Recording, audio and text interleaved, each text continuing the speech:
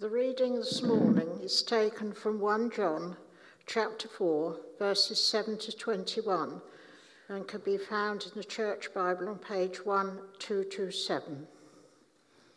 God's love and ours. Dear friends, let us love one another, for love comes from God. Everyone who loves has been born of God and knows God. Whoever does not love does not know God because God is love. This is how God showed his love amongst, among us. He sent his one and only Son into the world that we might live through him. This is love, not that we love God, but that he loved us and sent his Son as an atoning sacrifice for our sins.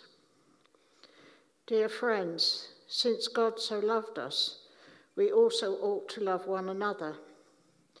No one has ever seen God, but if we love one another, God lives in us, and his love is made complete in us. This is how we know that we live in him and he in us. He has given us his Spirit, and we have seen and testified that the Father has sent his Son to be the Saviour of the world. If anyone acknowledges that Jesus is the Son of God, God lives in them and they in God.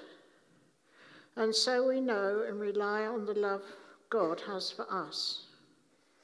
God is love. Whoever lives in love lives in God and God in them. This is how love is made complete among us, so that we will have confidence on the day of judgment. In this world, we are like Jesus, there is no fear in love, but perfect love drives out fear. Because fear has to do with punishment. The one who fears is not made perfect in love. We love because he first loved us. Whoever claims to love God yet hates a brother or sister is a liar. For whoever does not love their brother and sister whom they have seen cannot love God whom they have not seen. And he has given us this command anyone who loves God must also love their brother and sister. This is the word of the Lord.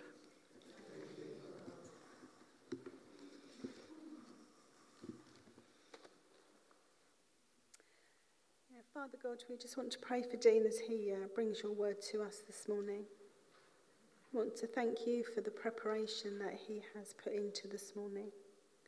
Lord, would you give us the ears to, to listen and to hear? And may each one of us be blessed with something that we perhaps haven't thought about or heard before as we leave today. Amen. Yeah, and what does God is what does God is love actually mean? You know, I think this is a kind of a statement that comes out quite a lot and I think Christians really throw this at each other and perhaps non Christians as if it really does sum, sum up God. I think it really does sum up God, but I don't think that really helps. I know Leslie kind of, in her introduction um, in the morning, um, the start of the service, and I think it's, we take it for granted. I think we don't really think about it very much. And um, and in a way, that's why it's quite nice doing sermons sometimes, because you actually kind of have to scratch it and see where it goes and what is it. That's one of the good things about being a sort of a teacher sometimes. It's actually, you learn quite a lot on the job. And um, I think I've kind of learned quite a lot about this. Um, so what's John actually saying? What does he mean by God is love? Well, he's not saying it's an abstract definition. He actually really believes this and actually thinks it's a really important sort of a summary of um, what it actually means. It, it's a summary in the sense of he's been walking with Jesus for many years, and when he wrote this letter, it would have been quite a long time after Jesus was resurrected. But he's also had quite a lot of knowledge about the Old Testament and really the witness that's been sort of taking place over many, many sort of thousands of years. And in a way, that's what, what is God, um, God is love actually actually means to him. It is a summary of everything that is learned, everything that is read um, in, in, his, in the scriptures, and his own kind of personal experience. So, what does it mean? In, it is the essential nature of God in all his actions and character that God is loving. And I think there's two really quite important things there. One is about his character. That's what he's like in terms of his personality. God is love. But it's also actually in terms of his actions and the things he does. And in many respects, I'm kind of thinking in terms of evidence. It's one thing saying God is love. I think actually that needs to be um, witnessed. I think we have to see that. We could say that against for each of us. You know, is Dean loving? Where's the fruit? And where's the actions of that? And I think that's what we kind of need to do. You know, the Lord gives us brains. He wants us to, to, to think about the Bible and, and the words that He has said. And I think he's, He blesses us with intellect. And actually, God is there to kind of bear witness. I think His character and His actions do stand up as evidence of who He is. So, where's the evidence of this? I might end up just reading this. Right. There's a number of scriptures. This probably should have been on the other system. Um, this is how God showed. Uh, actually, I'm, I'm going to leave this. I'm just going to read it. It's not working.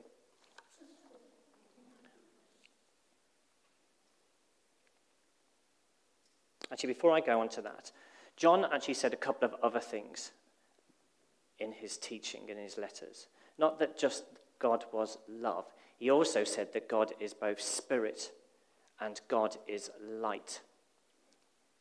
So it's not just a kind of a one definition, really, of who God is. What did he mean by God is spirit? Well, actually, Jesus said this. Jesus said this to the lady uh, at the well. And she was trying to, you know, he was t- saying that he was um, the living water. And he was asking her sort of questions and saying a couple of things to her, and she got a bit embarrassed. So she tried to divert the conversation and say, Well, where do we worship him? You worship him in Judah, in Jerusalem. We, we in Samaria. And Jesus said, Hang on, none of that. God is spirit. And what does that mean? He is not flesh and blood. He's not like us, who's limited in terms of where he is at any one moment. He's omnipresent. And basically, John or what Jesus said, you worship um, God in spirit and truth. So that's one of the characteristics of God. He also said that God is light, and in him there is no darkness at all. What does that mean? He is light, and there's no darkness at all in him. By this, John means that God is holy and pure. You know, darkness means perhaps moral perversity and unrighteousness. In fact, it's ungodly because God isn't like that. And so when people kind of say, you know, that we have to be godly, you know, are we resembling some of the characteristics of, of God? God is light. In him there is no darkness at all. So let's come back to what I was just saying before this. So, where's the evidence? Well, verse 9 talks about this is how God showed his love among us. He sent his one and only Son into the world that we might live through him. And then verse 10 says, This is love, not that we loved God, but that he loved us and sent his Son as an atoning sacrifice for our sins. You know, sometimes we think that we have to love God first before he reciprocates. And that's completely wrong. God is not like that at all. He's always, always the one that takes that makes the first move. He's a God we're full of initiative. Thank God for that. Thank God that is his character. What a blessing that is to each one, for me as it is for you. Thank God he, He's not waiting for me to be shipshape and all sorted. I've got a long wait, otherwise, and so have we all. God takes the initiative, always. Now, God is light, in Him there's no darkness. God is holy, and his holiness demands punishment for our sins. You know, our rebellion for not loving him and loving, not loving others. Therefore, God, out of his love, sent his Son to make atonement, to be our substitute for our sins. And in this way, God's wrath, that very unpopular word in and out of church, God's wrath is satisfied and appeased. His wrath for our wrongdoing. And effectively, he turns his gaze away from us in his wrath and turns to Jesus. That's what he does. God demonstrates his own love for us in this way. While we were still sinners, Christ died for us. I absolutely love that piece of scripture. It's in Romans 5 8. While Dean was still a sinner, Christ died for me, and he also died for you. And I don't know if Glyn had actually said this or I'd read this, but it's almost coming back to the Old Testament and all those sort of animal sacrifices. And I think this is really quite important because when we would sin individually and also as a community, we would lead a sheep. In fact, it would be a ram. It would be the ram of God. We would give him the priest a sheep. And the priest would look at the sheep, not at us. You know, we come to, we, the, the, the Israelites would come to Jerusalem, they would go to the temple, they would bring sheep or a dove or another kind of form of sacrifice. And the, and the priest would receive that. And so they're not looking at us. The lamb was the payment for our sin. And that's why John the Baptist, when he saw Jesus, he doesn't actually say this in Luke, he says it in one of the other Gospels. When he first met, well, it wouldn't have been the first time, because the first time would have been in the womb when he leapt. That is in Luke 1. He says, Jesus, here's the Lamb of God who comes to take away the sin of the world. Coming back to that temple sacrifice system. Well, that's what's happening to us. God, out of love, sent his Son to be our substitute, the Lamb of God, who takes away our sins and the sins of the world. Now, God's love for sinner involves him identifying himself with our welfare, the welfare of his creatures. You know, you and I are creatures, we are human beings. We are created unlike God. Such identif- identification is involved in all love. In fact, it's a test of whether love is genuine enough. So, is God's love really genuine?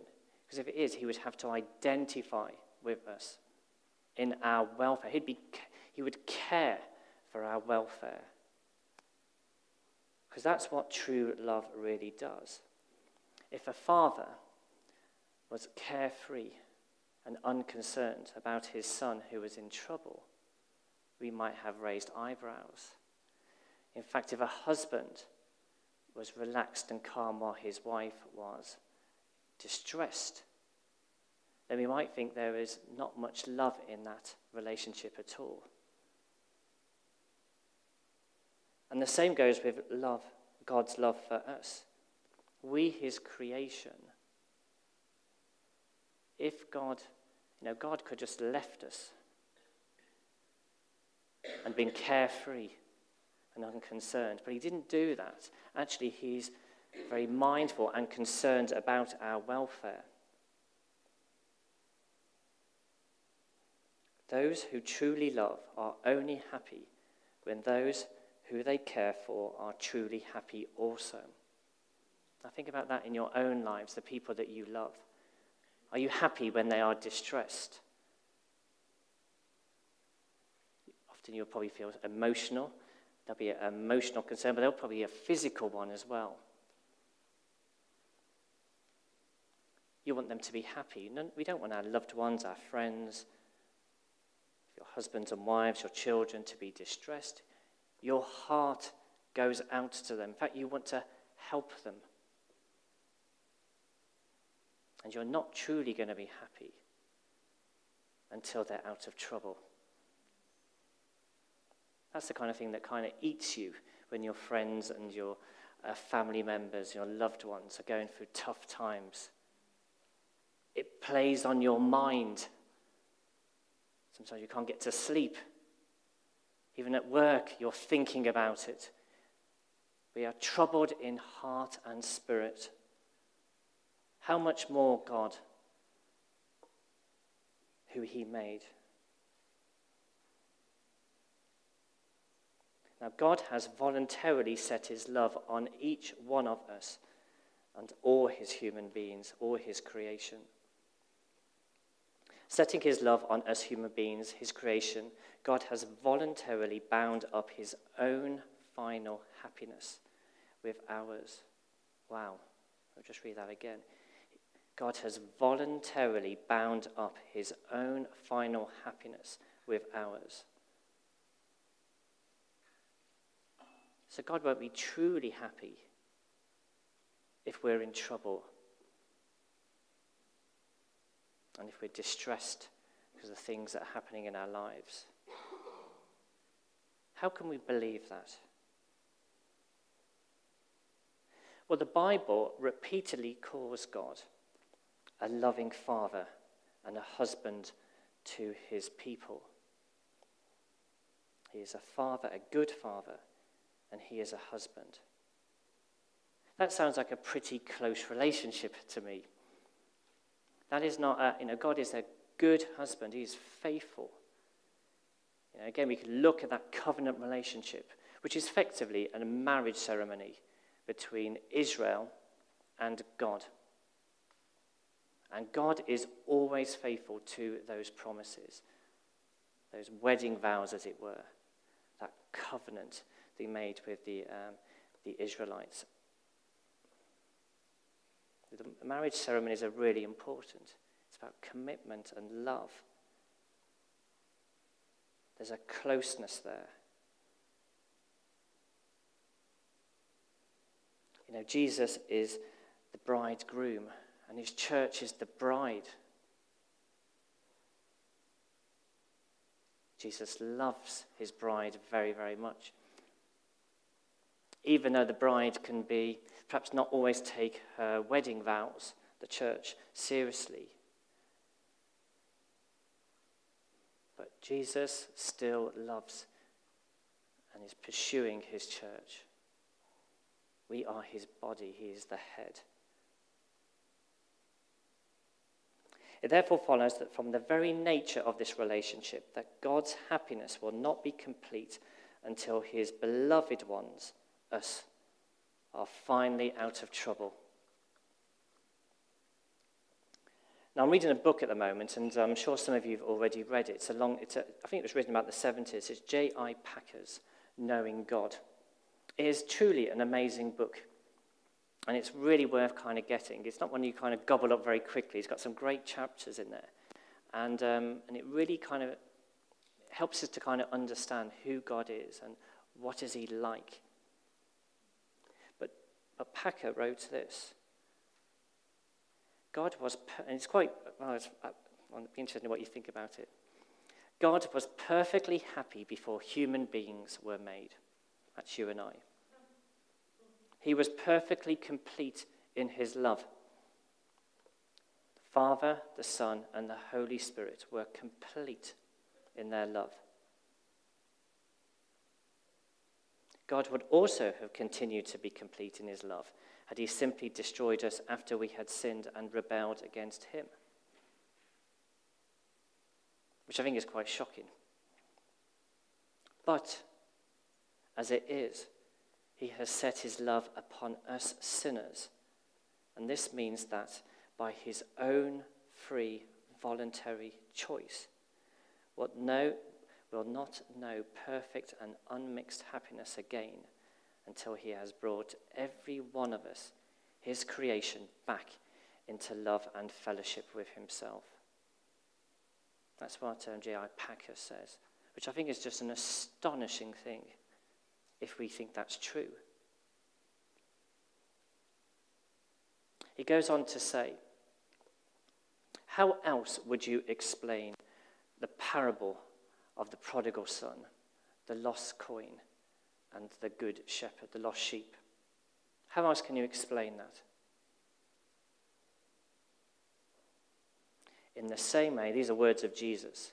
In the same way, I tell you, there is rejoicing in the presence of angels of God over one sinner who repents.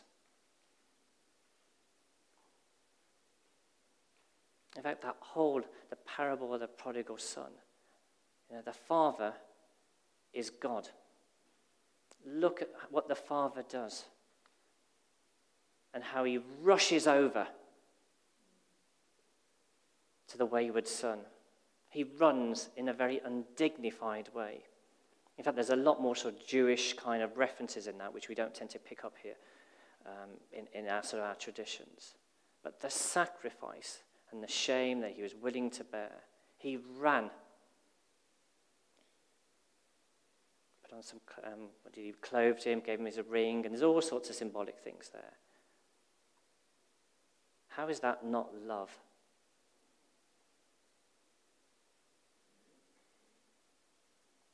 This is quite shocking. In fact, thinking about where we should watch that video, um, the video of the song Reckless Love, but Josh already had, the Holy Spirit was obviously at work with him this morning. And uh, we just sang that before the sermon. That is reckless love, bestowing on your, bestowing your love on people who are not very easy to love and very rarely reciprocate that love back. That is shocking love, stepping down. Allowing your son to die on the cross.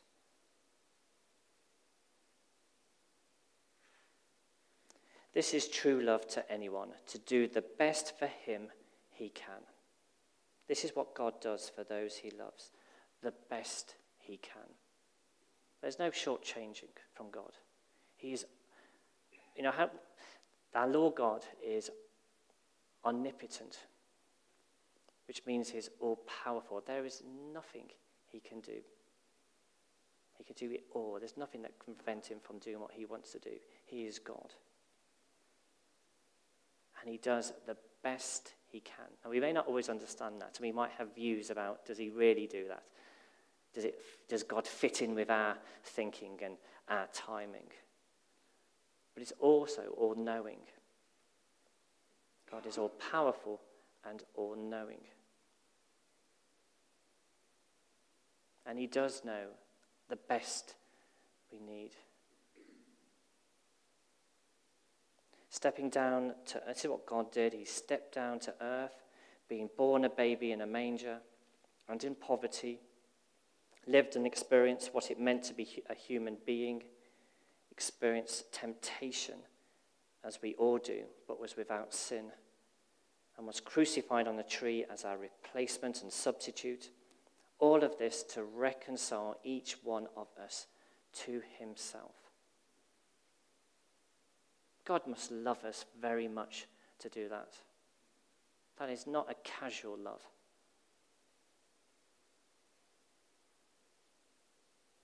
So, how are we going to respond to our Heavenly Father, our loving Heavenly Father? Well, verse 15 and 16 says, If anyone acknowledges that Jesus is the Son of God, God lives in, lives in them, and they in God. And so we know and rely on the love God has for us.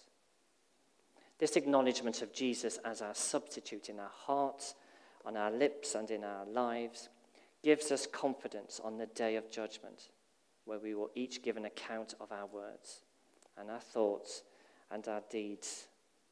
I definitely need Jesus at that time. None of us can recon- reconcile ourselves to God through our own deeds and kind words.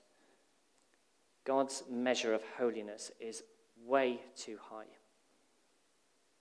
You only have to read the first five books of the Bible to show that the Jews had, the Israelites had an amazing difficult time. They couldn't do it. It's impossible. It is impossible to keep the first five books of the Bible.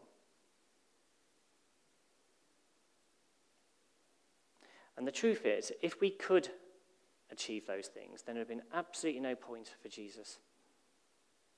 That's really the bottom line there. And often, we can all, to some extent, try and save ourselves. I think we all, including myself, will think our deeds, you know, they, they help a little bit. They can justify us. I was, I was a bit bad over here, but I've done something good over there. I think in our heart of hearts, I think there's a kind of a thing that naturally wants us to, to not really be beholden to anyone.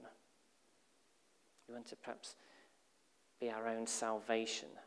I know, I think we know, we know our theology,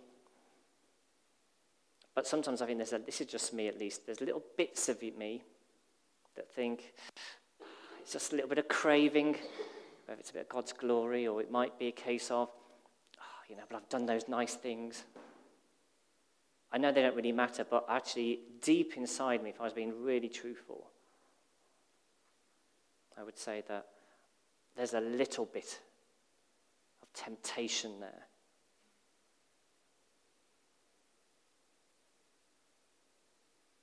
God would not have needed to step down to earth and to die on that cross if we could have saved ourselves.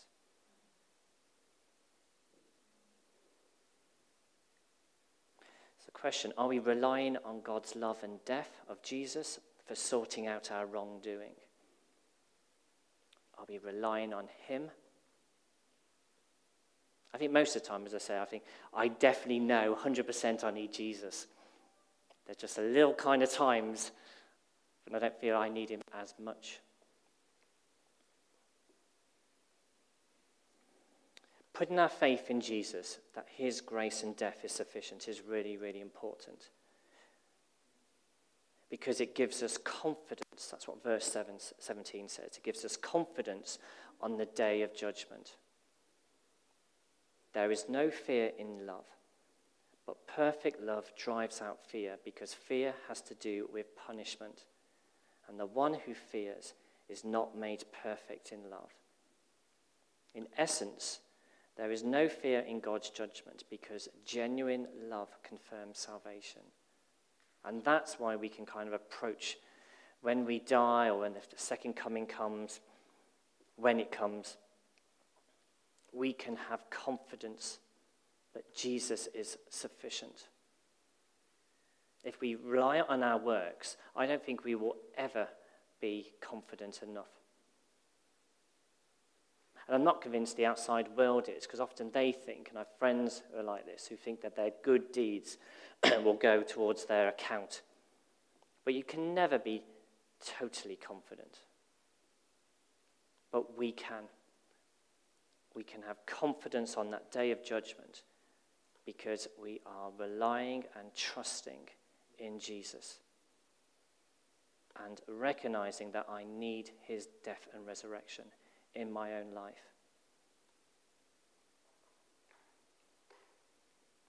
John continues in his letter Dear friends, since God so loved us, we ought to love one another.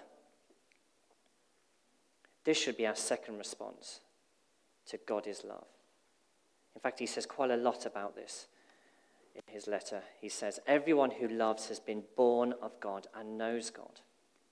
Whoever does not love doesn't know God because God is love. And so basically, you're saying if we don't love each other and other people, then we don't know God. How do you feel about that? He's saying we don't really know God if we're not really loving. He's saying loving others is the evidence that we know Him.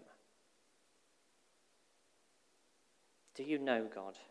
Do you know him in your own life? How well do you know him? Does your life demonstrate that you know God? If you do not love, then John is saying that you don't know God very well. What is our state of relationships here at Christ Church? You know, what, is our, what are our individual and corporate relationships like with each other? Do we love each other? What, what is the state of our relationships or your relationships with, with your work colleagues and family? Do you love them? This, isn't, this is not always going to be easy. But I don't think it's particularly very easy for God to love us. In fact, I went through this at Christian Union this week, because I wrote it last weekend as a question. It was interesting what they were saying. They were saying actually hating people is actually exhausting. It's really exhausting. They, said, uh, they also said they thought it was easier to love than to, to like. Which I thought, again, was very sort of, I was very impressed. Yeah, if you hate people, then I think that is absolutely draining.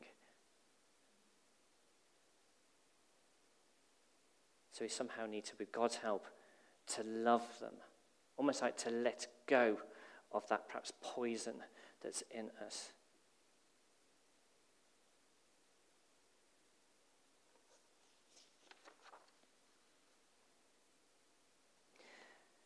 This is what uh, love looks like loving people who aren't easy to love.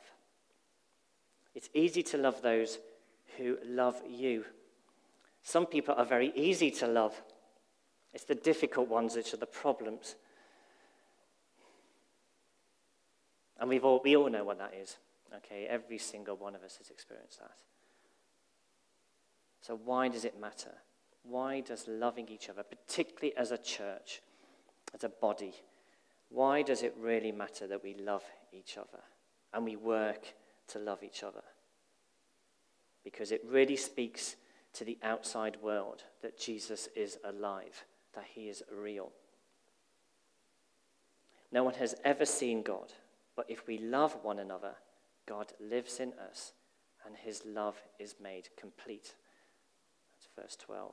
Since our love has its source in God's love, his love reaches full expression, as in is made, made complete, when we love fellow Christians. And so, thus, the God whom no one has ever seen is seen in those who love because God lives in us. So, I think for the rest of the world, they are looking at us and they're looking at our relationships with each other and with people in our families and work colleagues. And they're looking at how much love we've got. And if we can love people who are difficult to love, then actually that's real evidence that we know God.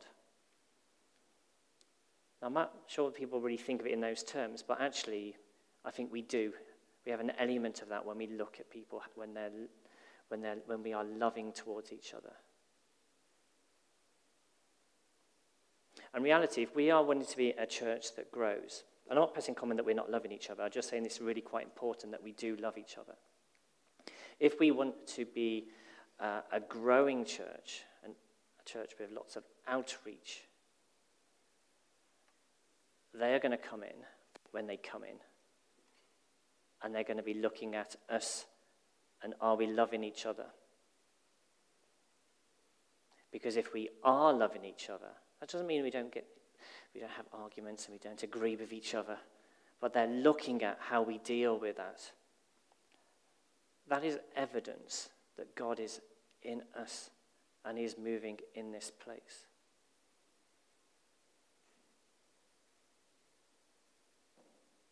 Love matters. It matters to God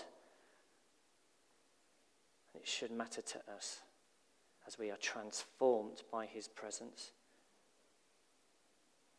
So, in conclusion,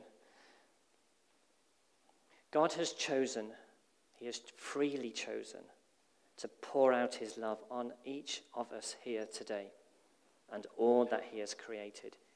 No one can force him to do that. He chose to do that. God's love is personal. He knows you by name. He knew you before you were born. He breathed life in you. God's love has been costly to him. It cost him his son. God's love should draw us to himself. And it should, it should transform us from the inside out. So I think there's a process involved in this, unfortunately. I think we have to grow in his love. But as we grow closer to him, we are transformed. So as we approach the altar this morning and receive the bread and wine, let's remember that this is an expression of God's love to you. So as you go up, have a think about this. You know, that's God's, yeah, his expression, his gift to you. And our expression of love to him is to receive that in our own lives. So it's a two way bit. God is stretching out his hands. Effectively, Tim is his representative. You know, he's, the, he's his anointed one for, for Christchurch. So God, through Tim, he gives you the bread, and when you receive the wine, that is a gift. Is a demonstration of God's love for each one of us. As we approach the altar, our response to Him, our small response to Him, is to, to receive that. His bread, the bread and the wine, His body and his blood. So let us make every effort to love one another because God loves us. Amen.